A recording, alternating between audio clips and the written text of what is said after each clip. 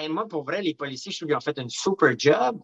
Euh, je pense qu'ils ont, qu'ils ont, qu'ils ont été bons. Puis je pense aussi que les manifestants avaient leur raison. J'étais le premier, je suis convaincu, puis là, que le monde peut, ben, puis Legault puis toute sa gang peuvent dire, là, puis, puis, puis j'écoutais, euh, écoute, euh, Paul Arcan le matin, tout, oh, les manifestants n'ont pas fait bouger le gouvernement. Bullshit. Bullshit. Legault le disait le mardi du premier week-end de manifestation en disant on veut garder la paix sociale. Et moi, je l'ai trouvé intelligent de réagir comme ça, François Legault. C'est ça, un premier ministre, il doit représenter. Maintenant, pourquoi? Et moi, je te jure, je suis à Gatineau, OK? cinq, sept jours avant, on savait qu'il y avait des truckers qui s'emmenaient de la Colombie-Britannique. Cinq jours, trois jours, deux jours, un jour avant, tout le monde savait.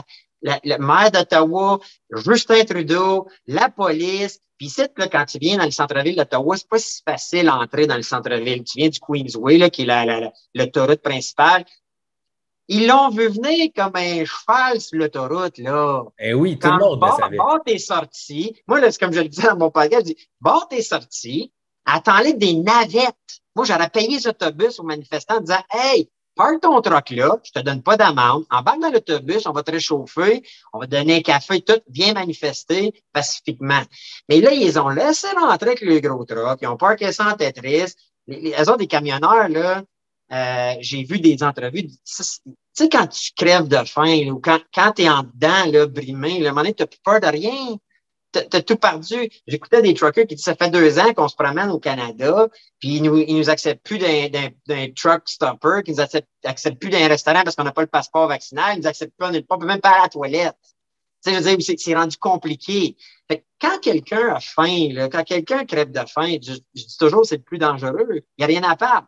Ouais, exact. Là, ils sont rendus qu'ils se sont mis dans la tête que hey, je fais ça pour mes enfants. Là, après ça, quand tu mets les enfants là-dedans, n'y a pas un parent qui ne donnera pas sa vie pour son enfant.